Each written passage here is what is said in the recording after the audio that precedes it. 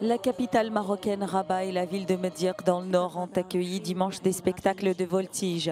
Des équipes de parachutistes militaires ont réalisé des performances acrobatiques lors des célébrations populaires à l'occasion du 24e anniversaire de l'accession au trône du roi Mohamed VI du Maroc.